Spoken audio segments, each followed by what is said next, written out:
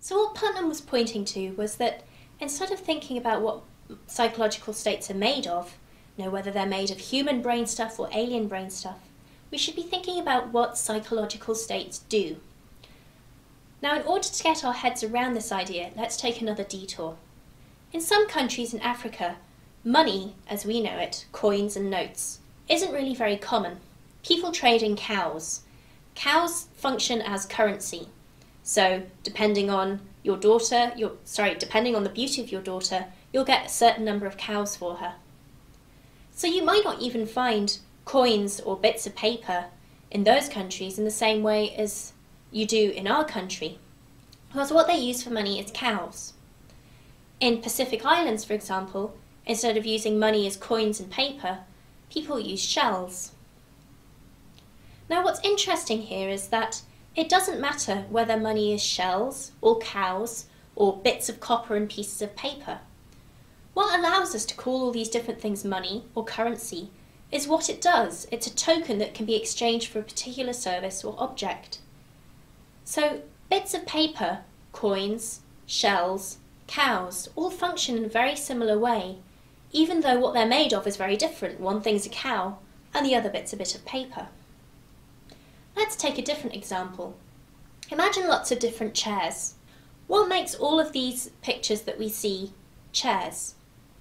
Well, it's that they function as chairs. We can all use them for sitting down on and sitting down in such a way that we're raised up from the floor. What allows us to say that all these things here are chairs is that they function in a particular way. They function so as to allow sitting. Now, this is ties back to the problem that Putnam was pointing out with identity theory.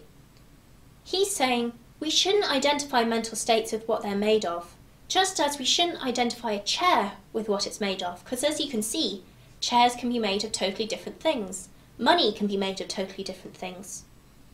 What allows us to say that all these things are chairs and all these things count as money is what they do.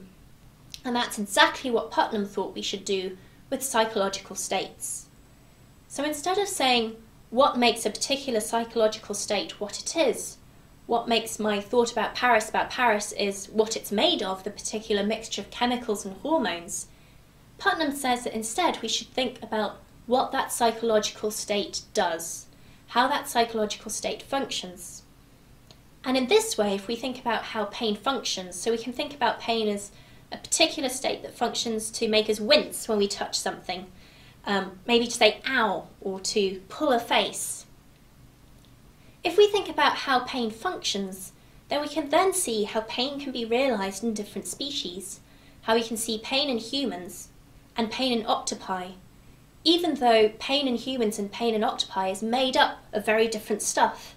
It's made up of octopus brain stuff in one instance and human brain stuff in the other. What it's made of doesn't matter. What is crucial is how it functions. This is the materialist view known as functionalism. It says that we should tell mental states apart, we should think about mental states, not by what they're made of, but by what they do. So, what is it that mental states do? Well, the first thing that mental states do is they cause particular behaviours. So, as the example I like to use is that if I want some chocolate, then that particular psychological state causes me to engage in particular behaviours, to find my coat and go out to go to the shops.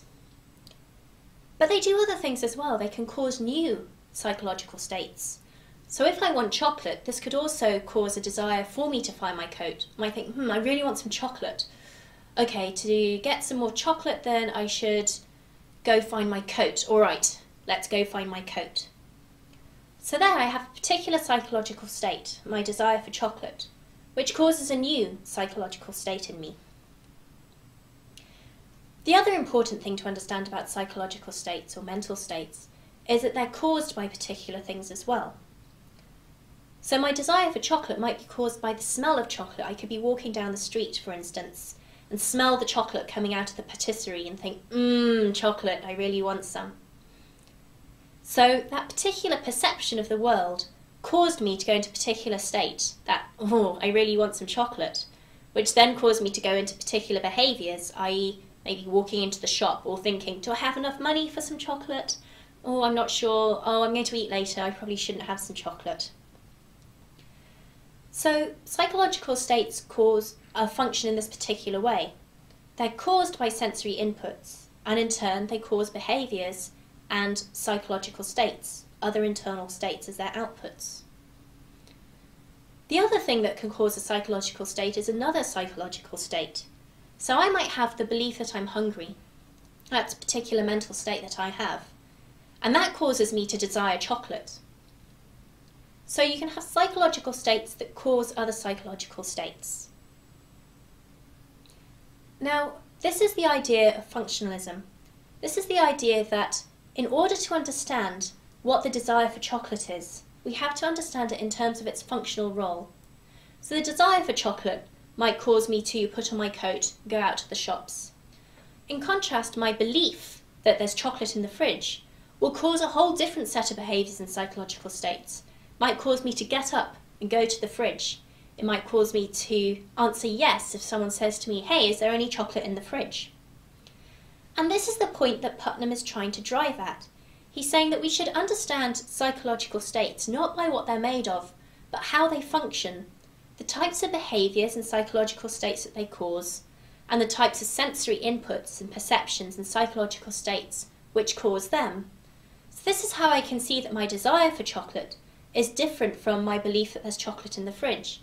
Because it's caused by different things, my desire for chocolate is caused by the smell of chocolate and the belief that I'm hungry and it causes different behaviour, such as going to the shops and trying to find my coat. And that's very different from the belief that there's chocolate in the fridge, because the belief that there's chocolate in the fridge is caused itself by a whole different set of sensory inputs. It's caused perhaps by my perception that there's chocolate in the fridge, or someone telling me, hey, there's chocolate in the fridge. And that mental state functions so as to cause very different behaviours, causing me to go to the fridge if I want some chocolate. Now you can see how we've completely stepped away from what psychological states are made of. We've totally stepped away from this mix of chemicals, mix of hormones, or octopus brain, or alien stuff.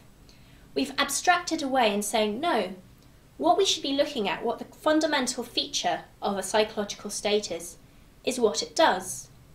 And what allows us to attribute a state like pain to an octopus is if that octopus functions in such a way that we can say it's in the state of having pain.